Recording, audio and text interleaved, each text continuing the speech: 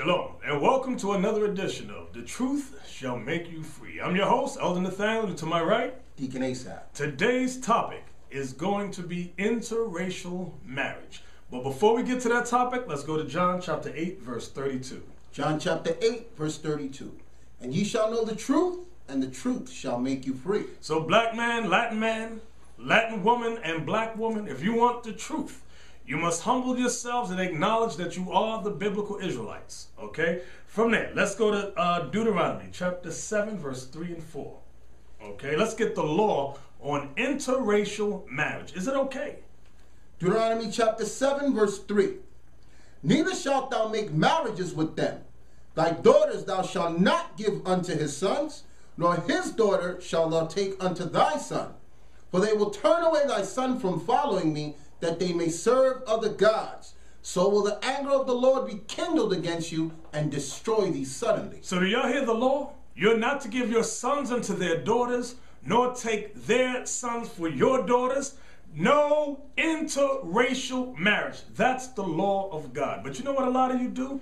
You search the Bible for to justify your wickedness. And you go, what about, what about Moses? Moses married an Ethiopian. Yes, Moses did marry an Ethiopian. And the Most High had mercy and allowed it. Why? Remember, where were the Israelites? In captivity. When Moses killed the Egyptian for smiting his brother, where did he run? He ran and fled to the wilderness in the land of Midian. There were no Israelites there for 40 years. So Moses married a woman and had two sons, okay? Then he went what? He went back to get um, the Israelites and to give the law, not the law, he brought forth the plagues on Pharaoh. So now, you are not Moses, okay? And the Most High told Miriam and Aaron, mind your business, shut the hell up. I allowed Moses to do it, okay? But are you in Moses' situation today? Are your people in captivity in another land and you're someplace else? Huh? No, you're not. You're not in that situation. Then the next set of them go, oh, okay. What about mm, mm, oh, Ruth? What about Ruth the Moabite? That's what you do. Let's read the law. Let's go to uh, Deuteronomy 23 and verse 3. So we read the law already about no interracial marriage. Let's see what God says about the Moabites and Ammonites. Deuteronomy chapter 23, verse 3. An Ammonite or a Moabite shall not enter into the congregation of the Lord. Even to their tenth generation shall they not enter into the congregation of the Lord forever. Now, your question first and foremost may be how do you know the Ammonites are the Japanese and the Moabites are the Chinese? When you read Genesis, okay, the history of Sodom and Gomorrah, when the Most High destroyed five cities, okay, with uh uh they're going meteors came down, destroyed the place. Right. Okay. You had Lot in a cave with his two daughters. Okay, remember his wife was turned to a pillar of salt. His two daughters said, listen, everybody is dead. They thought everybody was wiped out. Okay? They said, um, Let's get them drunk let's get them drunk and lay with them. and lay with them. Exactly. Thank you. That's what happened. So then, what happens when a, a, a daughter has sex with her father and brings forth children? What is the popular medical uh, Terminology. terminology? It's called what? Mongoloidism or Down syndrome. When your eyes, you get that funny look in your eyes. Okay. That pushed in face Exactly. those slanty eyes. They, they all got. When you look at them, they all got that Those same features. same features. The flat face, the eyes is chinked out. Okay. So one son became the father of the Japanese. That was Ammon. The other son became the father of the Chinese. That was Moab. Okay. Now, when you read in Ezekiel, it tells you that I'm gonna throw this in there. It says that Nebuchadnezzar took the children of Moab to the east. And remember, Babylon was already in the east, so when it said the east, it meant further east. Okay? So that's where you got your Chinese and your Japanese. Now, from there, so we got the two laws, right? We got the law not to no interracial marriage, and we got the law about Moab and Ammon, that they shall not enter the congregation unto the tenth generation forever. So now let's go to Judges chapter 21. We're gonna hit the book of Ruth now. But let's before we get there, remember the book before Ruth is the book of Judges. Now my question to you is this. Were the Israelites keeping the laws of the Most High by the time you get to the book of Ruth? When you read through the book of Judges? Let's read Judges 21, verse 25. Judges chapter 21, verse 25. Watch this. In those days there was no king in Israel. Every man did that which was right in his own eyes. Read it again. In those days there was no king in Israel. Every man did that which was right in his own eyes. Every man did that which was right in his own eyes, not according to the laws of the Most High. So the- Israelites were not following the laws of the Most High. Understand that. Now, that leads us to the book of Ruth. Ruth, we want chapter 1. Read verse 1 through 6 for us. Ruth chapter 1, verse 1. Now it came to pass in the days when the judges ruled that there was a famine in the land, and a certain man of Bethlehem, Judah, Now, the Most High brought a famine in the land. Why? Because Israel was sinning. Why? Because every man did that which was right in his own eyes. Come on. and a certain man of Bethlehem, Judah, went to sojourn in the country of Moab. He went into the country of Moab, mhm, He and his wife and his two sons. and his two sons, his wife and his two sons, And the name of the man was Elimelech, and the name of his wife Naomi, Naomi. and the name of his two sons Ma- Mahlon and Chilion, Eph- Ephrathites of the Bethlehem, Judah.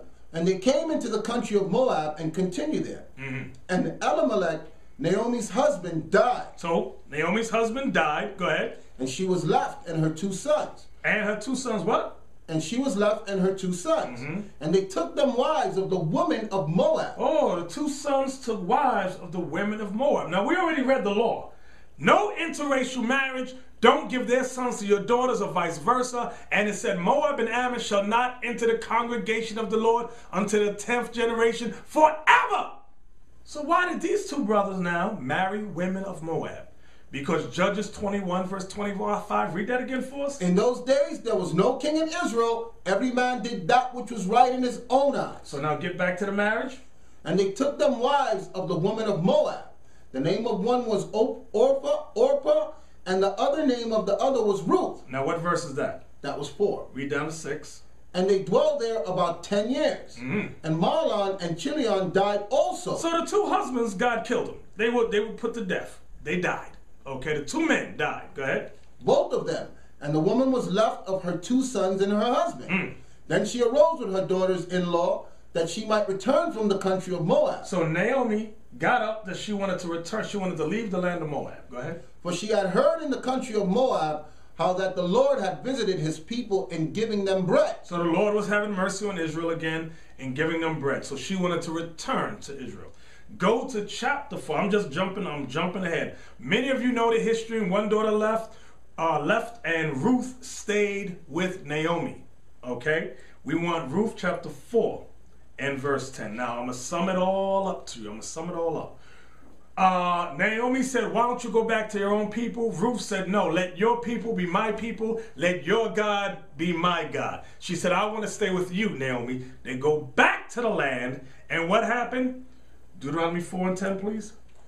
Deuteronomy, um, Ruth chapter 4, verse 10. Go ahead. Moreover, Ruth and the Moabitess, the wife of Mahlon, have I purchased to be my wife. So stop right there. Now, this is Boaz speaking. Boaz the Israelite, okay? He purchased Ruth the Moabite to be his wife. Now, when you read this whole story in here, we don't have all day to read it, but read it on your own. It said one of the closest of kin to uh, Ruth's husband did not want her. Remember, the two sons died. So one of the daughter-in-law of Naomi left. Okay? Ruth wanted to stay with Naomi. She said, Let your people be my people and your God be my God. But there's a problem. Okay? Watch this. There was a law that there should be no sons of Israel cut off. Okay? So what happened? There was a law that said the nearest of kin had to marry the wife to raise up seed. Watch this. Go to Ruth 4, and we want to start at verse, we want verse 4 to 6. Ruth chapter 4, verse 4. And I thought to advertise thee, saying, Buy it before the inhabitants and before the elders of my people. If thou wilt redeem it, redeem it. But if thou wilt not redeem it, then tell me, that I may know. For there is none to redeem it besides thee, and I and I am after thee. And he said, I will redeem it. So this is Boaz, a near of kin, but he's speaking to a closer of kin to Naomi's son. So he's asking him to redeem it, some parcel of land. he says, I will redeem it. Now watch this. Go ahead.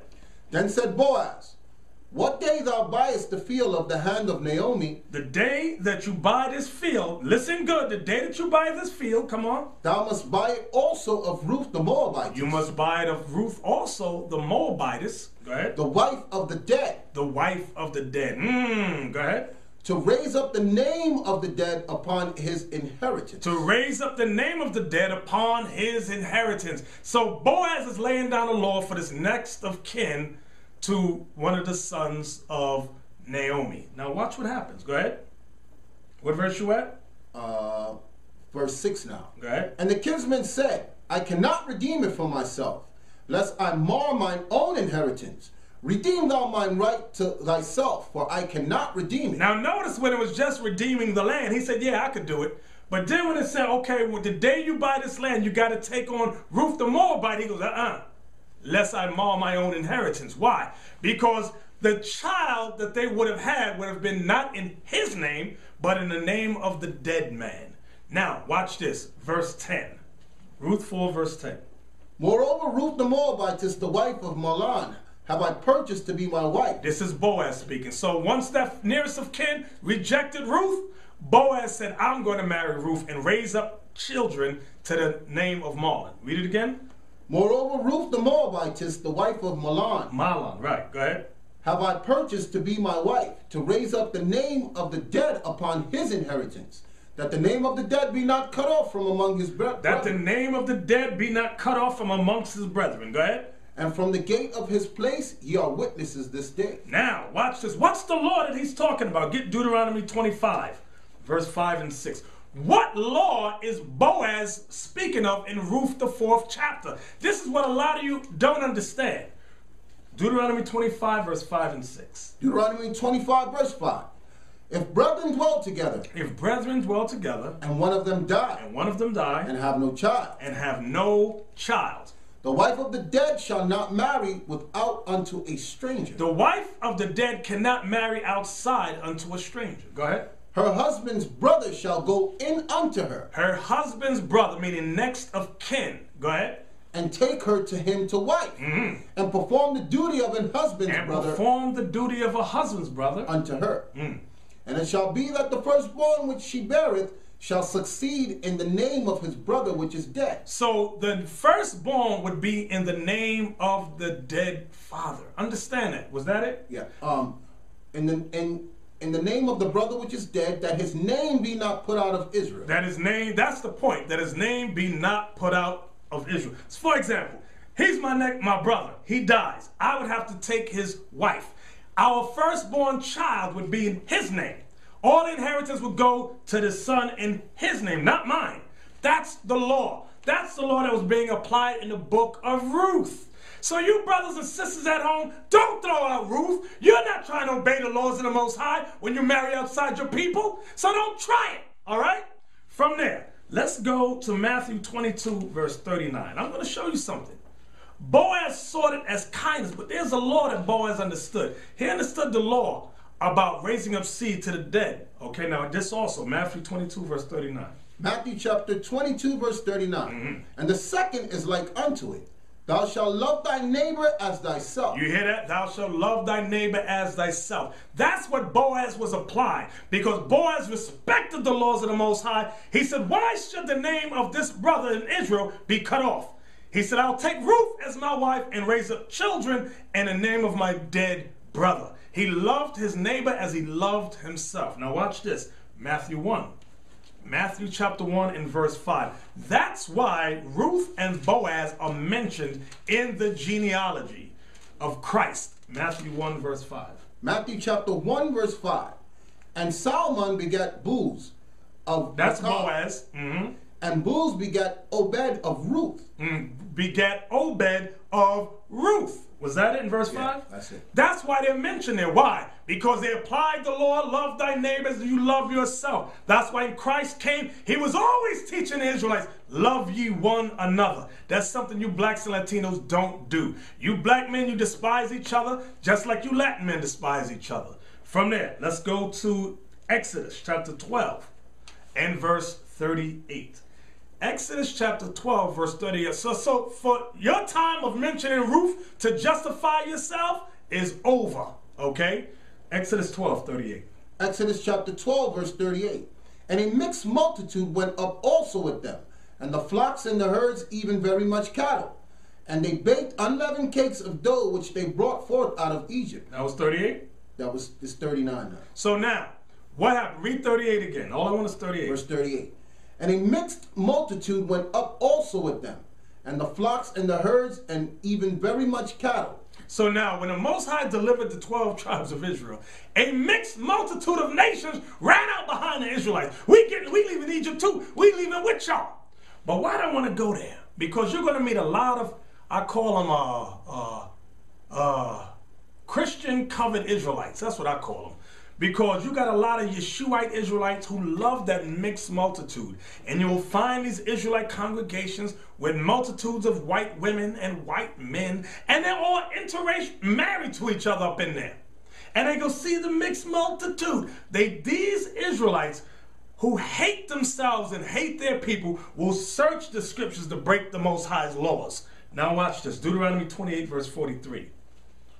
Deuteronomy 28 and verse 43. Now, a mixed multitude ran out behind the Israelites. Watch this. Deuteronomy chapter 28, verse 43. The stranger that is within thy that the stranger that is within thee shall get up above thee very high, and thou shalt come down very low. You hear what the law said? What the what the prophecy is for the Israelites? This is Deuteronomy 28. Now read verse 15 for us, please. Deuteronomy 28, verse 15. I'm bringing this back to your memory. But it shall come to pass, if thou wilt not hearken unto the voice of the Lord thy God, to observe to do all his commandments and his statutes which I command thee this day, that all these curses shall come upon thee and overtake thee. If you don't hearken to the Lord your God and obey all these commandments, that all these curses will come upon you and overtake you. Verse 43 now. Let's see about the strangers. Remember, the mixed multitude of strangers ran out behind us? This is what God says to us. Verse 43. The stranger that is within thy with, that is within thee shall get up above thee. Who is, who is the stranger that was within us? The strange, strange nations that ran up behind us in Exodus 12, verse 38. Read it again. The stranger that is within thee shall get up above thee very high. So what does the Lord say? He says, You Israelites, if you break my laws, you see those strange nations amongst you that ran out behind you in Egypt, from Egypt? If you break my laws, although they're your slaves now, those mixed nations, those strangers, they're going to get up above you very high. Read it again. The stranger that is within thee shall get up above thee very high, and thou shalt come down very low. Meaning, you Israelites would become the slaves. Those strangers are the slaves now, but if you break my laws, they shall be the head, and you shall be the tail. Read on. He shall lend to thee. The strangers shall be the ones lending to you. And thou shalt not lend to him. And you Israelites would not lend to them. Go ahead. He shall be the head. Those strangers, those nations that are your slaves right now, they shall be the head, meaning the leaders of you. And thou shalt be the tail. Meaning you shall be the slave. Understand that. Now, watch this. Let's go to Joshua 23. I'm going to remind you of the law again. Joshua 23, verse 11 through 13. I'm going to remind you of the law again. Okay. Joshua 23, verse 11. We run 11 to 13, and that's it. Take good heed, therefore, unto yourselves, that ye love the Lord your God. Else, if ye do in any wise go back and cleave unto the remnant of these nations. If you both go back from God's laws and cleave unto the remnants of the nations that are around you, even these that remain among you, and shall make marriages with them. So, what is Joshua reminding them? He said, if you leave the Most High's laws, and you make marriages with these other nations, and go in unto them, and they to you, know for certainty that the Lord your God will no more drive out any of these nations from before you. See that? Joshua reminded you, Israelites. He said, if you make marriages with these other nations, the Lord your God would no longer go before you, meaning he won't protect us no more. Go ahead. But they shall be snares and traps unto you. Meaning these other nations that you married, they shall be snares and traps now, aren't these other nations that our people marrying today snares and traps? Right. Look what happened to OJ. You see what right. happened, right? Got all caught up, all into the midst of madness. Tra- snares and traps. Come on.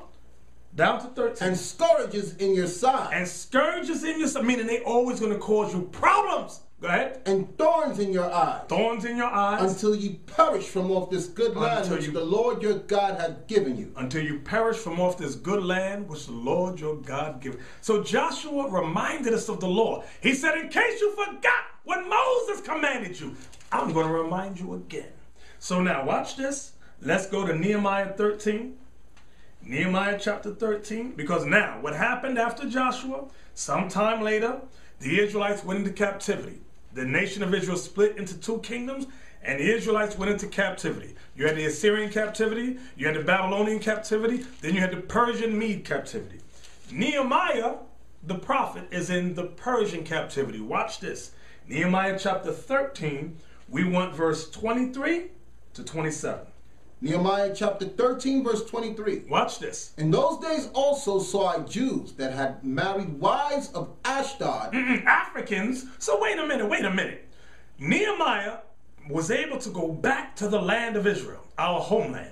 Then he said, In those days did I see what? I saw Jews that had married wives of Ashdod, Who are the Jews? Remember, the Jews comprised of three tribes primarily Judah, Benjamin, and Levi. That's who was termed Jews. Read it again.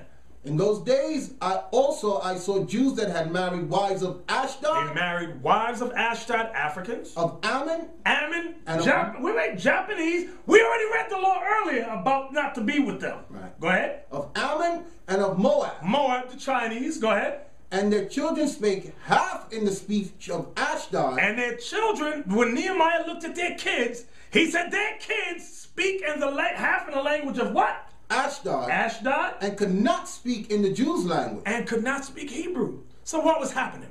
The mothers took control of the kids, just like today. What we're reading here is synonymous for your life today. The mothers are the ones raising the kids. So at that time, the mothers didn't raise their kids in the laws of the Most High. The mothers were women of other nations. The mothers raised them in their language. The mothers taught them their gods. Read it again. In those days also saw I Jews that had married wives of Ashdod, of Ammon, and Moab. And their children spake half in the speech of Ashdod, and could not speak in the Jews' languages, but according to the language of language of each people. But according to the language of each people, whether it was Ammon or Moab, come on. And I contended with them, And I contended with them, come and on. cursed them, And what? and cursed them, Ooh, he cursed those Israelites that did that, come on. and smote certain of them, And he smacked some of them upside the head and plucked off their hair, and plucked off their hair and made them swear by God, saying, and made them swear by the Most High God and say what? You shall not give your daughters unto their sons, So he's quoting the law to them. He said, You shall not give your daughters unto their sons. Come on. Ye shall not give your daughters unto their sons, nor take their daughters unto your sons And don't take their daughters unto your sons for yourselves. for yourselves. Did not King Solomon Wait, wait, read this part slow. did not Solomon, king of Israel, sin by these? Did not King Solomon sin by these things? Meaning, didn't Solomon do the same thing? And it's called what? Read that again. I want you to stress that word. Did not Solomon, king of Israel, sin by these things? It's a sin. It's a sin. Meaning you're breaking God's laws when you marry people of other nations. Come on. Yet among many nations was there no king like him, who was beloved of his God, and God made him king over all Israel. Nevertheless, Nevertheless, although Solomon was loved by the Most High, had all wisdom, it said, nevertheless, even him did outlandish woman cause to sin. even him did outlandish women, wicked women of other nations, cause Solomon to sin. You read down to 27? Verse 27. Shall we then hearken unto you to do all this great evil? Shall we then hearken unto you, Nehemiah says, to do this what? Great what? This great evil? evil. Do you hear what the Bible calls interracial marriage? Evil, evil, and sin, sin. Oh, you never read this in church. Was that it? No. Shall we then hearken unto you to do all this great evil, to transgress against our God in marrying strange wives? Mm. So now, watch this. Let's go to the book of Ezra. E Z R A. Ezra should be before Nehemiah, somewhere around there. Okay? Ezra chapter 10. We're going to get a little more in depth in this history now. Because I, I, we're reading, what are we reading? The Bible. Your ministers never read this to you. Ezra chapter 10, we want verse 7 through 19. Ezra chapter 10, verse 7. And they made proclamation throughout Judah and Jerusalem unto all the children of the captivity Mm. that they should gather themselves together unto Jerusalem. Now remember, Ezra also lived during the time of Nehemiah. This was during the Persian Mede captivity. Come on. and that whosoever would not come within three days, according to the counsel of the princes, So they made a proclamation. They said, We want all the Jewry, Judah, Benjamin, and Levi, and you scattered remnants, you got to come up to council.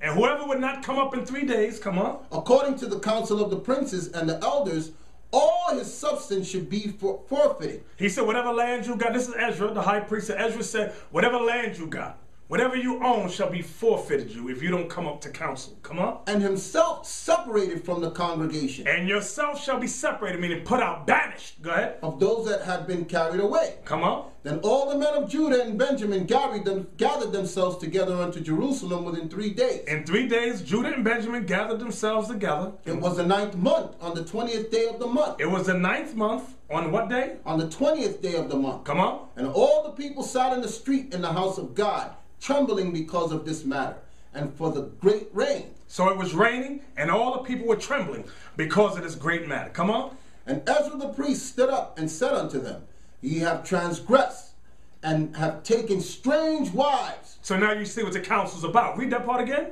Ye have transgressed, Meaning you have sinned by what? have taken strange wives, to increase the trespass of Israel. Ezra's letting them know the Most High gave us mercy to allow us to come back to our homeland. And you men, you've transgressed the laws of God by marrying these women of other nations. Come on.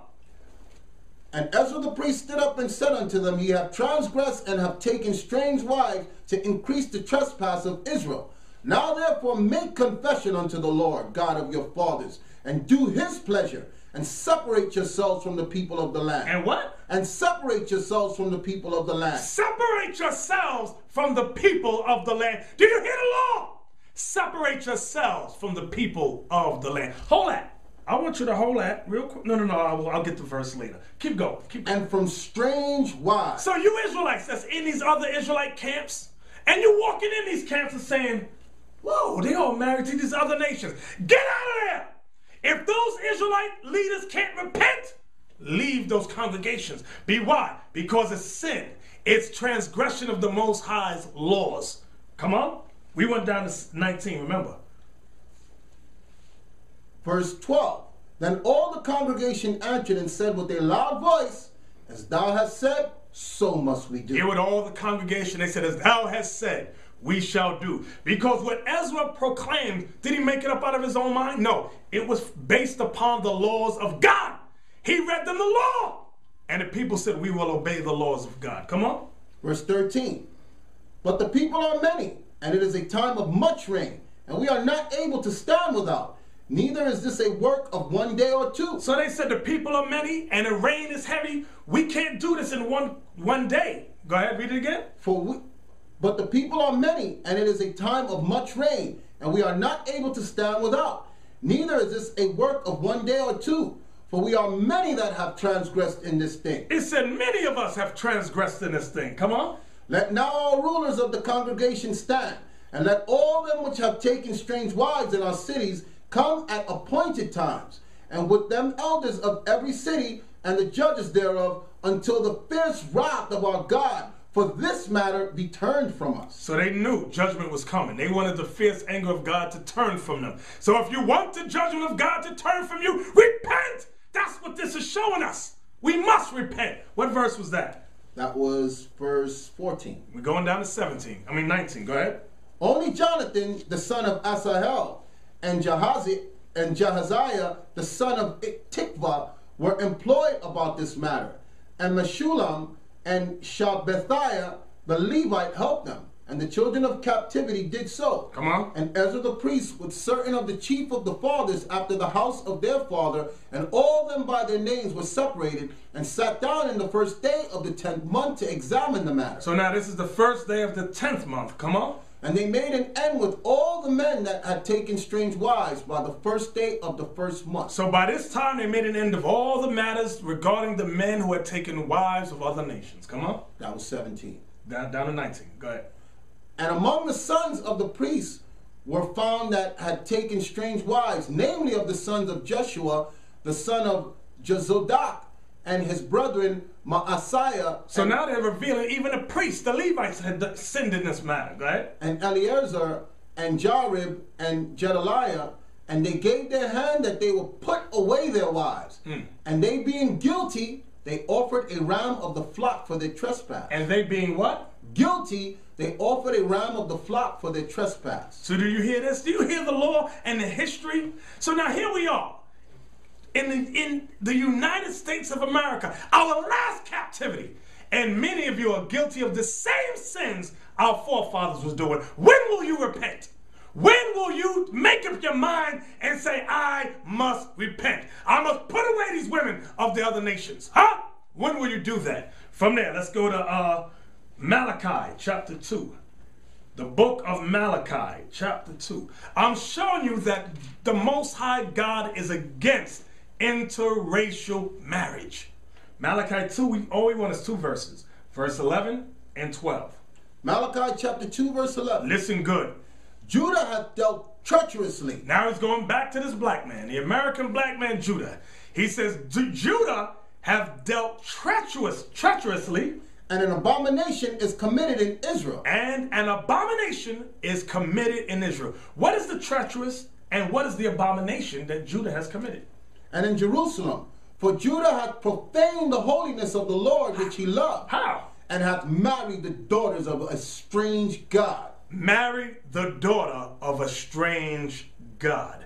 He married Judah, the tribe of Judah, married the daughters of a strange God. That's read that verse 11 again. Judah I hath dealt that one, I want you to treacherously. stress that A word in there. Judah hath dealt treacherously, and an abomination And abomination, abomination, abomination. Whoa, come on. and an abomination is committed in Israel and in Jerusalem. For Judah hath profaned the holiness of the Lord which he loved, and hath married the daughter of a strange God. What verse was that? That was 11. 12 now. The Lord will cut off the man that doeth. Wait, wait, read that again. The Lord will cut off the man that doeth. Read that again. The Lord will cut off the man that doeth. The Lord will cut off the man that doeth this. You hear what the Bible says? This ain't our words, brothers. This ain't how we feel. This is what the Bible says. Our job is to tell you and teach you what thus saith the Lord, because your ministers have not taught you nothing. Come on. The Lord will cut off the man that doeth this. The master and the scholar. The master and the scholar. Why is he saying the master and the scholar? Because a lot of you so called Negroes, you become masters and scholars in society and you become uppity. they make a few million dollars, and what's the first thing a Negro with money does? He marries the white woman. Look at your basketball players. Look at many of your entertainers, your actors, your athletes. They married the white woman. Don't they got little? They got the- you know the white man got little cliques of women that they raise up to marry these dumb That's ball sole players. purpose. For that sole, how to get a nigga's money? Go out there and shake your booty because a nigga think he ain't made it until he get a white woman. Right. Okay. Did you finish verse twelve?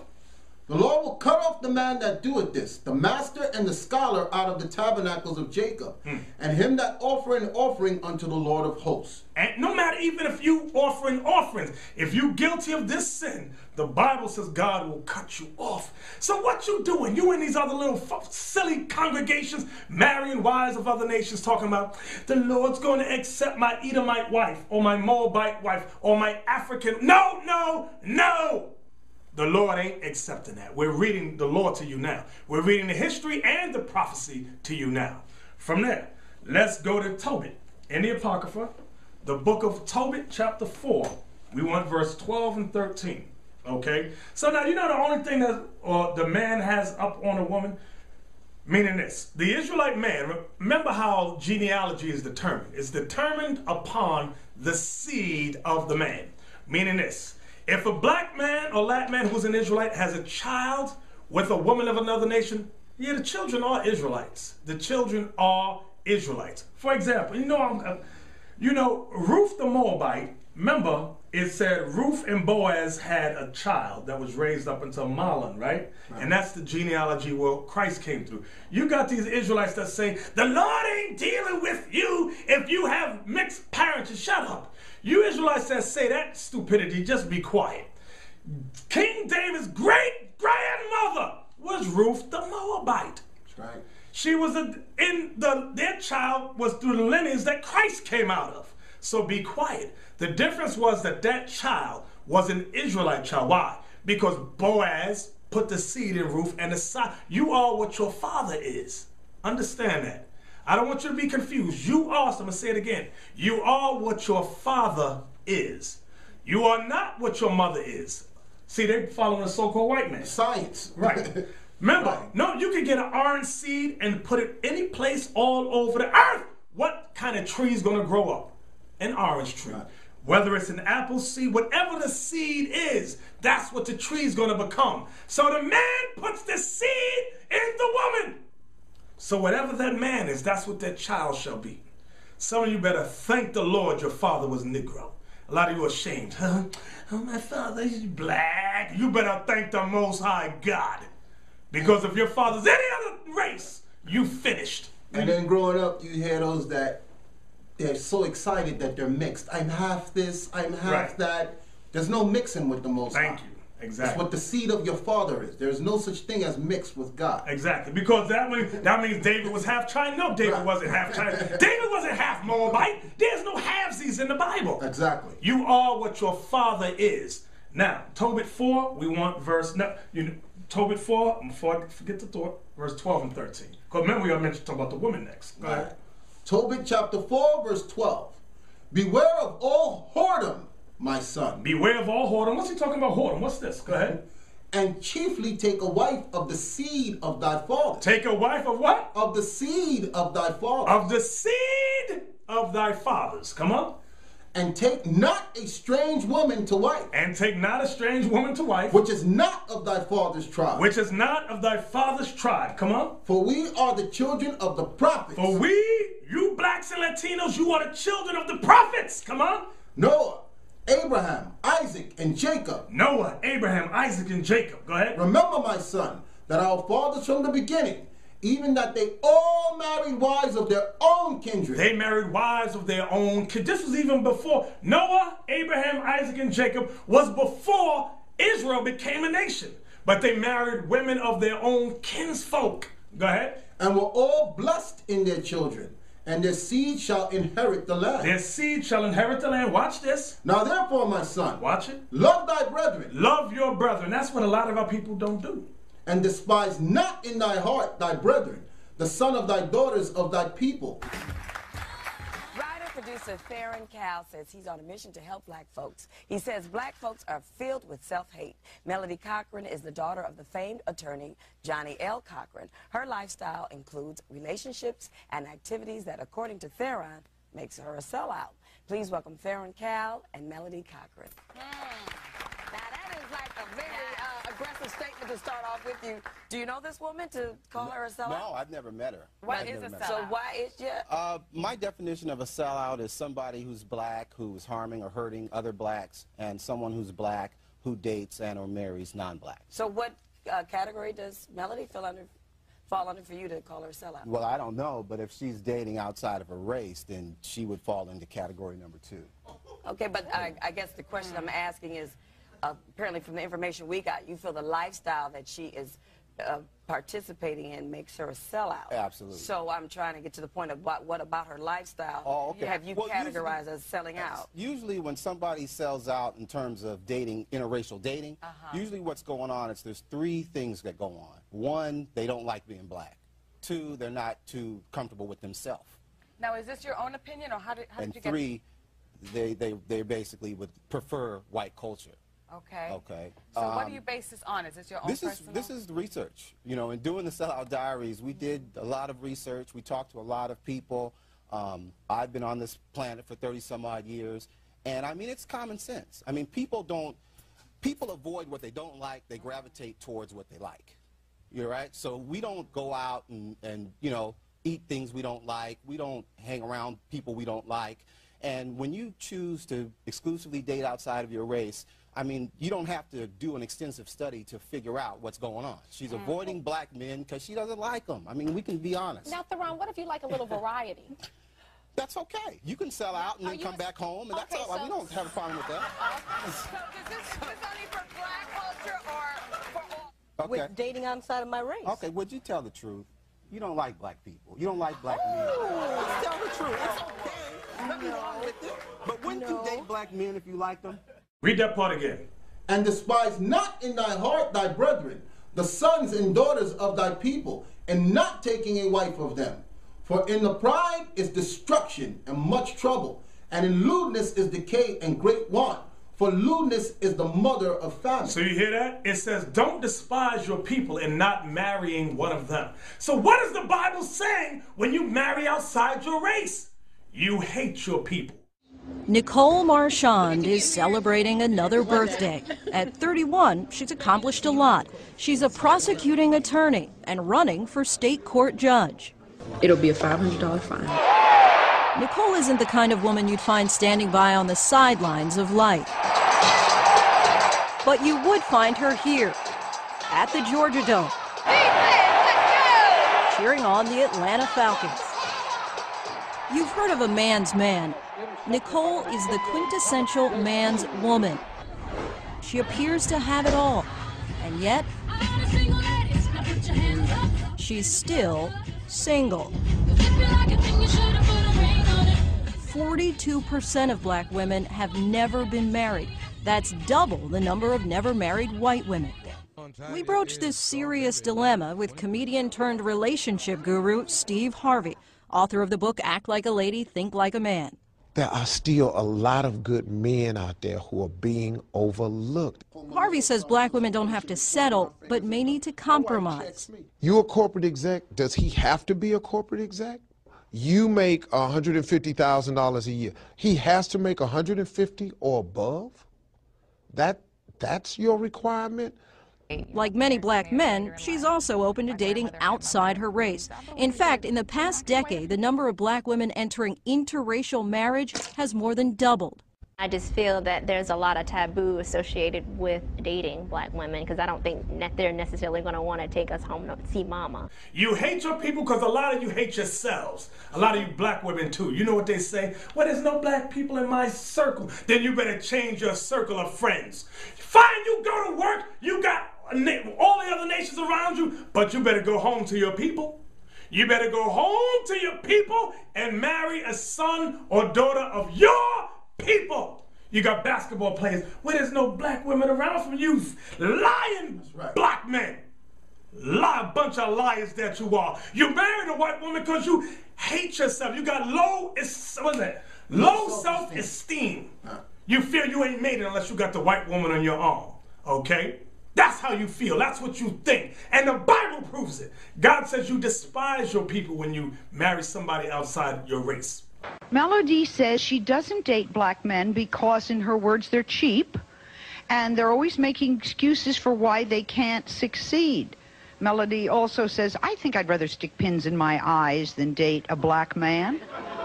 I think they're cheap. They call you up on the phone. Even if I see like a cute black guy, I give him my phone number. He calls me and he just wants to talk.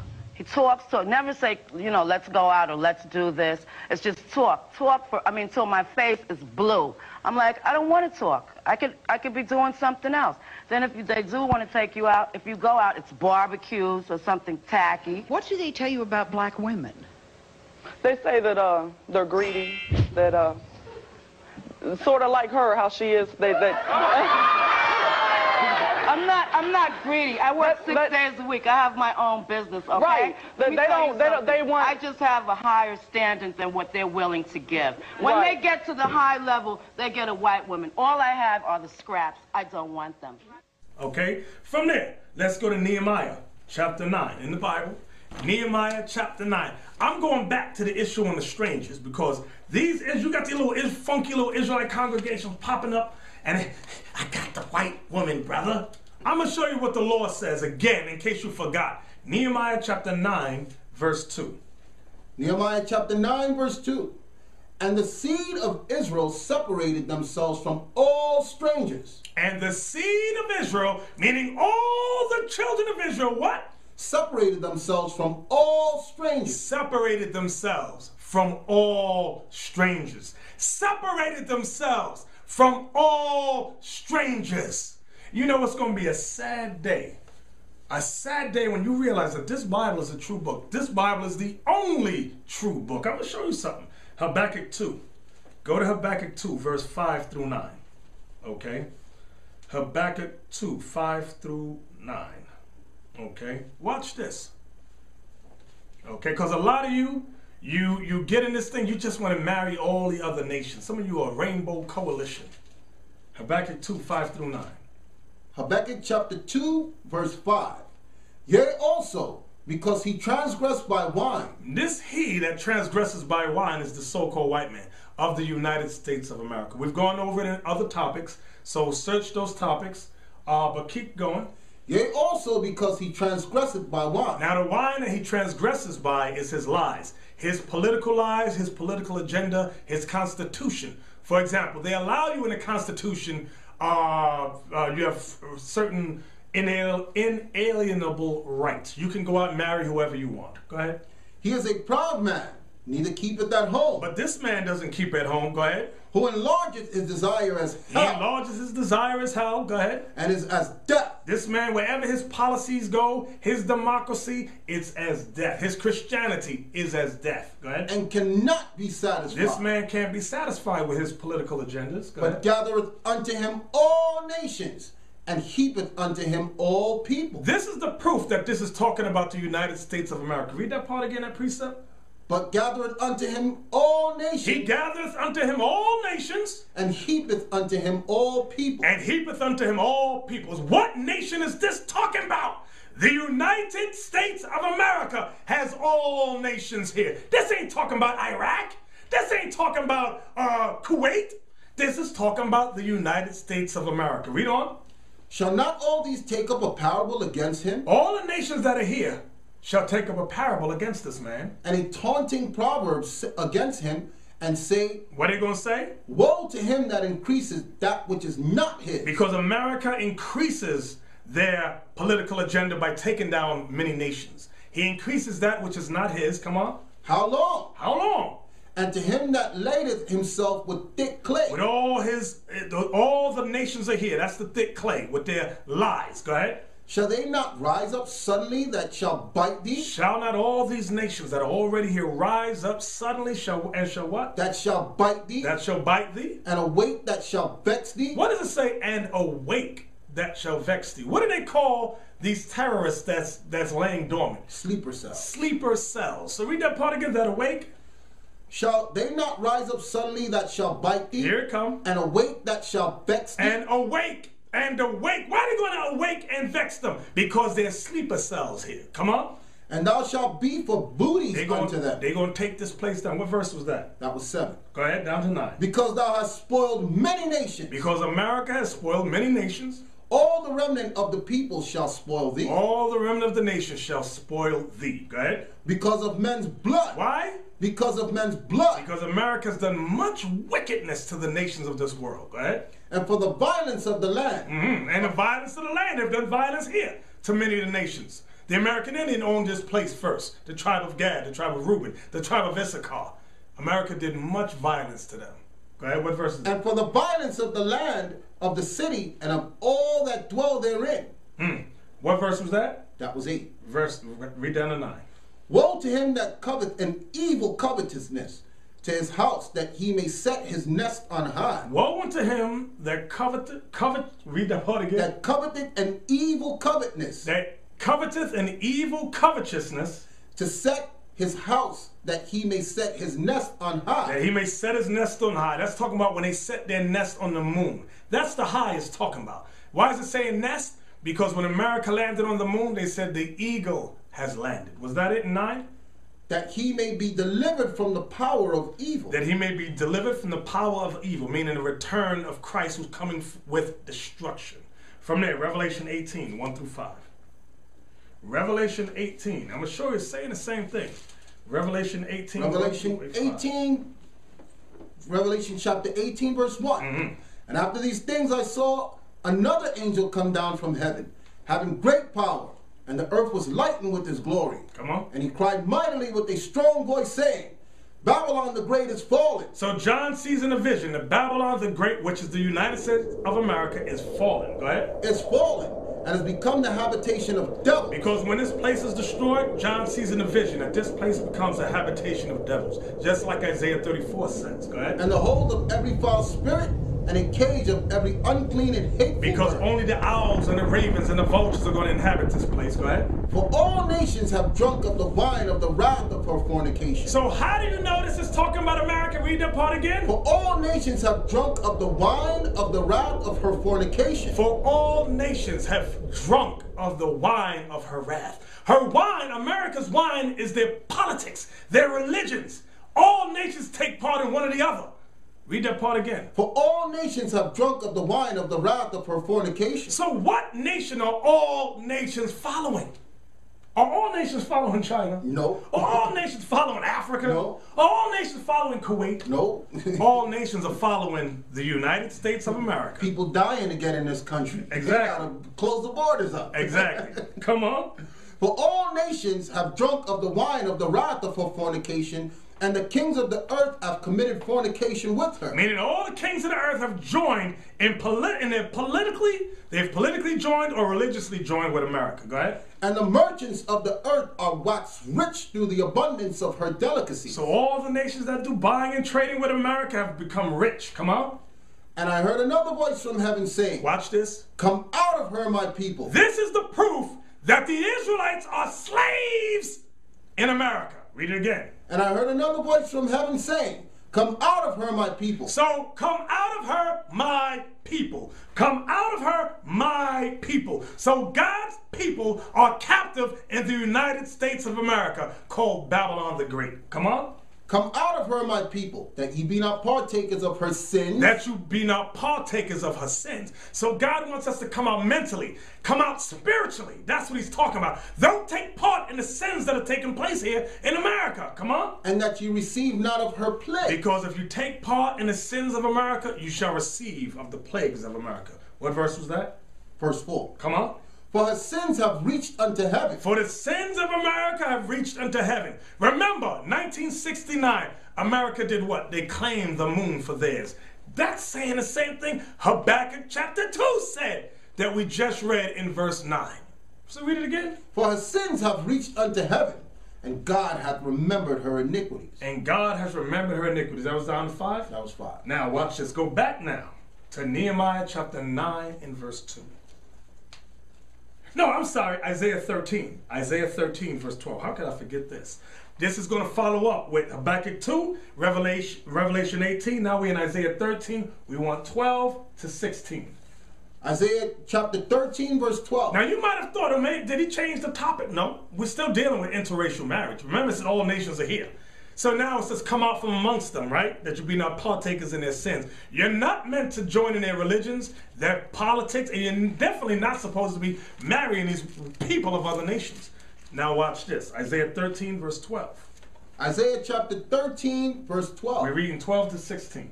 I will make a man more precious than fine gold. So God says he will make a man more precious than fine gold. So your black boys and Latin boys, God promised he shall make them more precious than fine gold. Watch this. Even a man than the golden wedge of Ophir. Come on. Therefore I will shake the heavens, and the earth shall remove out of her place. So God will shake the heavens and the earth shall remove out of her place. What is that talking about? Thermonuclear destruction when Christ makes his second coming. Come on. and the wrath of the Lord's hosts, and in the day of his fierce anger. Come on.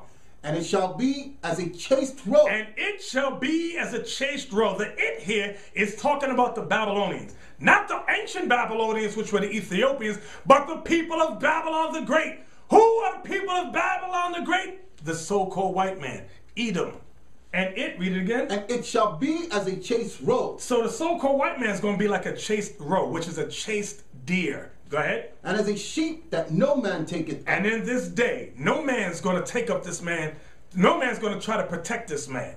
Listen good to what the prophecy says. Watch this. They shall every man turn to his own people. The prophecy is when the day of this destruction, every man shall turn to his own people. Every man shall turn to his own people. Go ahead. Now, why is that important?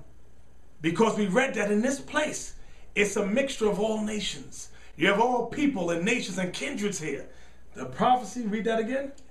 They shall every man turn to his own people Come on. and flee everyone into his own land. Everybody, everybody's going to try to run to their own land. Watch this. Everyone that is found shall be thrust through. Everyone that is found shall be thrust through. Meaning, who's who, who's that talking about going to be thrust through? The so-called white man. That's the chased deer. That's the chased roe. Because now it's judgment time. This is judgment upon the so-called white man, the nation of Edom, who rules Babylon the Great. Judgment is coming on them here. Read that part again. Everyone that is found shall be thrust through. Everyone that is found shall be thrust through. Go ahead. And everyone that is joined unto them shall fall by the sword. Everyone that is joined unto them shall what? Shall fall by the sword. You remember the Rodney King verdict? Remember what happened. I need you to open your minds. When Rodney King and I don't know, I think it happened with OJ too. When people went crazy. And Reginald Denny, Right. that was uh, Pulled him out of the truck, right. hit him in the head with that. And every black woman that was holding on to the white man, I'll protect you, got her got her behind whooped. Whooped. Almost put to death. So we read this is going uh, this is going to be a step higher than that. Okay? Read that part again. Everyone that is found shall be thrust through, and everyone that is joined unto them shall fall by the sword. So you brothers want to marry the white woman? You sisters want to marry the white man? The Bible said what? Everyone what? And everyone that is joined unto them shall fall by the sword. Mm, come on. Their children also shall be dashed Wait, wait, to my pieces. biracial baby. Their, My biracial baby. Go ahead. their children also shall be dashed to pieces before their eyes. Now, you know why that's heavy right there? A lot of you sisters, and I've met many of you when I was growing up, they would always say, I don't want no black man. I don't want no dark. He ca- definitely can't be dark skinned. They go, I want, I want the white man because I want my baby to be light skinned in it. I want him to have blue eyes and green eyes. I want him to have straight yellow hair. I can say that nothing their loved ones can say will change the fact that they feel trapped inside hideously ugly faces and bodies. Our next guest, Alicia, says that in her case, the reason she feels so ugly is because her mom, Essie, made her feel that way. Alicia, tell us your story. Actually, all my life I felt ugly because of my dark complexion. When I was younger, my mom would make differences between my sister and I. She would dress us in outfits that were similar and alike, but she would comment on how pretty or nice she looked, but I never got the same comment. And also in school, when we were referred to, we would both get in trouble. And when I get in trouble, she get in trouble too. They would refer to me as the dark one instead of the light one. And my mom would also compare us to the point to where she would discipline me harder, harsher than she would my sister. And you think it's because of the skin, your skin coloring? Well, yeah, she would make comments on the fact that I reminded her of my dad. My dad was dark complected too, and she dis, did, she disliked him and took it out on me to the point and said she, you know, disliked me because I looked like my dad. Well, no, when I was growing up with my mom, my son, when I was carrying my older son, she would tell me the comment that she wished my son was not dark. She didn't want a dark grandbaby, and that affected me. Well, tell her, how did that affect you? It made me feel unloved. Yeah. It made I me feel you didn't accept me for being a dark-skinned daughter instead of the bright daughter. Do you realize, Mom, that she would rub her face with a scouring pad to try to lighten her skin? No. You didn't know that? No.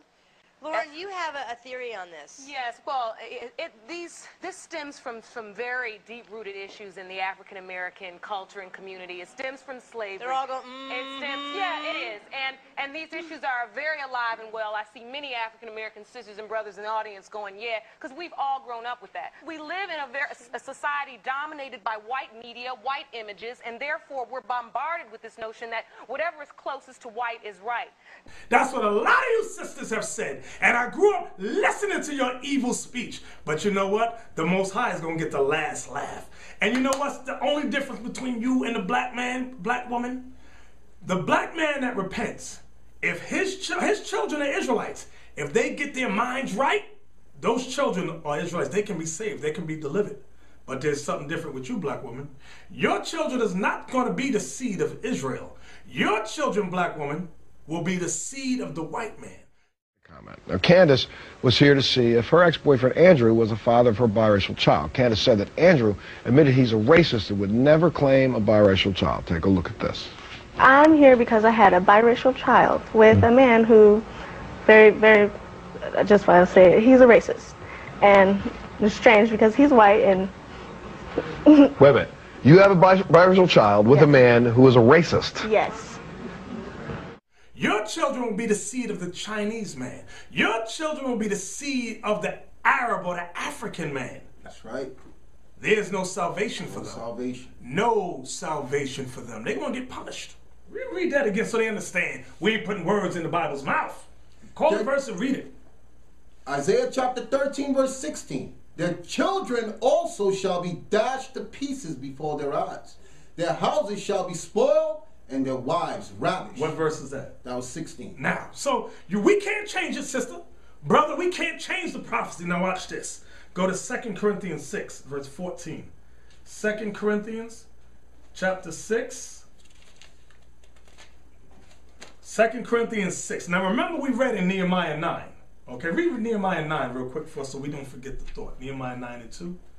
Nehemiah chapter 9, verse 2. Mm, watch and the seed of Israel separated themselves from all strangers and stood and confessed their sins. So now, let's see if that changed in the New Testament.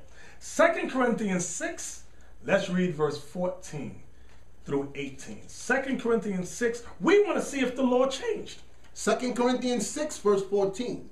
Be ye not unequally yoked together with unbelievers. Be not unequally yoked together with unbelievers. Go ahead. For what fellowship hath righteousness with unrighteousness? What fellowship hath righteousness with unrighteousness? And what communion hath light with darkness? Come on. And what concord hath Christ with Belial? Come on. Or what hath he that believeth with an infidel? That's the other nations too. Go ahead. And what agreement hath the temple of God with idols? Watch this. For ye are the temple of the living God. You Israelites, you are the temple of the living God. Come on. As God hath said, I will dwell in them and walk in them, and I will be their God, and they shall be my people. Come on. Wherefore come out from among them and be ye separate. Wherefore, wait, wait, we got to read that again because that's saying the same thing Nehemiah 9 and 2 said. Read that again. Wherefore come out from among them and be ye separate. Read it again. Wherefore come out from among them and be ye separate. Read it again. Wherefore come out from among them and be ye separate. Wherefore come out from amongst them and be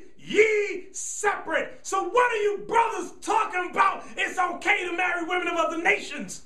What Bible are you reading? And you black women, are you just crazy? Y'all just sitting around waiting for death to come your way because that's the prophecy that's going to come. Death and destruction upon you and your children. And a lot of you brothers that got wives of other nations, you better watch your children. Because a lot of times the wives are the ones that raise up these, these little kids you got and, and your white wife or your Chinese wife is the one filling their head with foolishness, like Tiger Woods' mom filled his mind with Buddhism. Okay, he's talking about well, if I if I had just retained remained being a Buddhist, I wouldn't be in a sex scandal. Oh yes, you would. That's why the the law said there would be snares and traps amongst you. The Most High know what he's talking about. The Most High knows what he created of all the nations. You think God didn't know what he meant? Read, watch this. Deuteronomy 32 and 7, I think it is. Watch this. Deuteronomy 32 and 7. Read that quick. I think that's it about the Most High the nations. 32 and 7. Come on. Deuteronomy chapter 32, verse 7. Remember the days of old. Consider the years of many generations. Ask thy father, and he will show thee. Watch verse thy, 8 is the point. Thy elders, and they will tell thee. Watch when this. the Most High divided to the nations their inheritance. When the Most High divided to the nations their inheritance.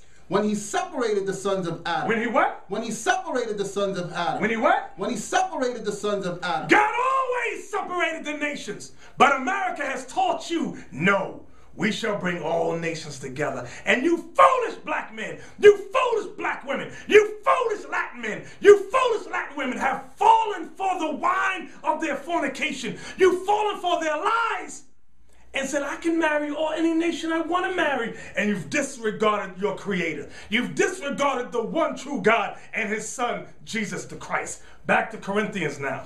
Back to Corinthians. So you see, there's no private interpretation. We're going precept upon precept upon precept, showing you the Bible has not changed. You've changed. You've been manipulated. You've been deceived. What verse you at? Verse 17. Se- call the whole thing? Second Corinthians 6, verse 17. Come on. Wherefore come out from among them and be ye separate. Wherefore come out from amongst them and be ye separate. Where are we reading? The New Testament. Come on. Wherefore come out from among them and be ye separate, saith the Lord, and touch not the unclean thing. Touch not the unclean thing means what? Don't be partakers in the sins of America. Don't be partakers in their lies here, their religious lies, their political lies, talking about, I can marry whoever I want and I can celebrate their holidays. God bless us all. Everyone that's a lie. That's a lie. Come on. And touch not the unclean thing, and I will receive you. So the only way God's going to receive you is if you touch not the unclean thing. Don't touch their political lies, their religious lies. Don't fall for the lies in their constitution.